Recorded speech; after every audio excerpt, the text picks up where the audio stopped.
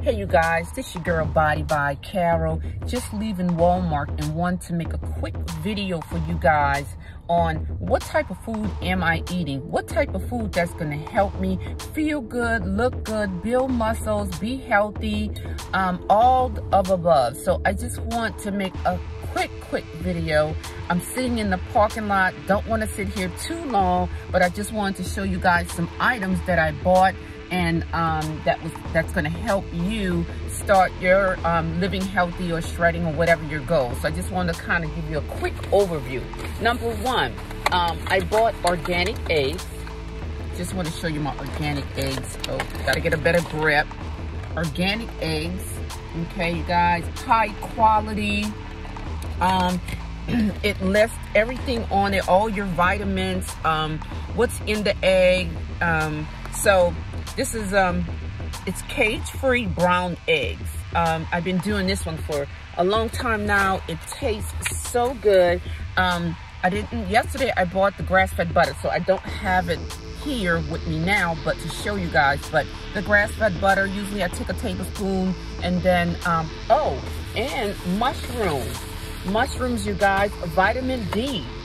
Uh, here we go, vitamin D, mushrooms, um, very full of nutrients. Um, it has one gram of sugar, dietary fiber is one, carbs is four.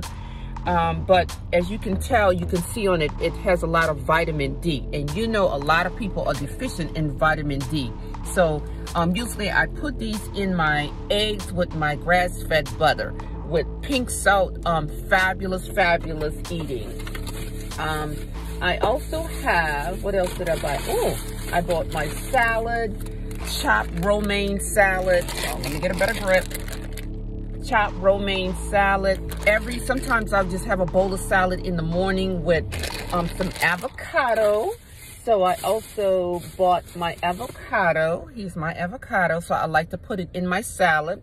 And usually, sometimes I eat it with my eggs too. So I have a bowl of salad and then I'll have one whole organic egg. Um, what else did I get? Um, I got, ooh, this is my grass-fed sirloin. Let me make a better grip.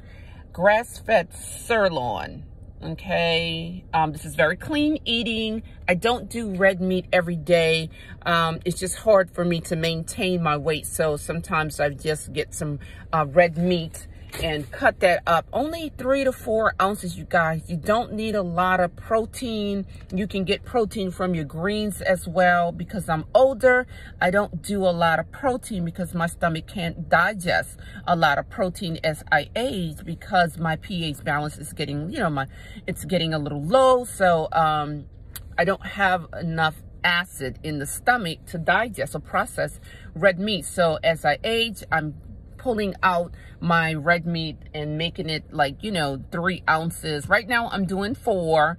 Um, but as I age, I'm going to start backing off on those red meat. Um, and, you know, just doing about three or two ounces. But right now I'm doing four. And I also have my chicken tenders. Yeah, chicken tenders here. Um, I like to cut them up and saute them and you know with my grass-fed butter and my pink salt i also put mushrooms in there. Oh my god such fabulous eating. Um, one thing about me i can eat the same thing over and over two meals a day sometimes one meals a day. Based on how my abs look in the morning i do weigh myself. I do take a lot of pictures on my abdominal muscles. Um, and one more thing i will oh another thing uh, one more thing two more things. Jasmine rice here. I don't do rice every day. Like I said, it's based on how my abs look, how tight I am, my weight, my weight. Um, I do weigh myself every morning, but you know, that's just my thing. You don't have to do that because some people scared of the scale. And I have my pecan nuts. This is what I, you know, my little, sometimes I put it in my salad. Sometimes I take two ounces and just, you know, eat it when I feel like snacking on something. But usually I put an ounce in my salad. And one more thing I want to show you guys. Um, my fish oil, do it every day. Remember, you want to get the fish oil that has the EPA and the DHA.